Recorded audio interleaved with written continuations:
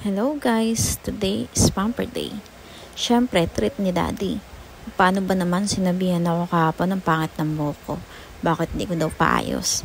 Siyempre sabi ko wala ako pera. Scam.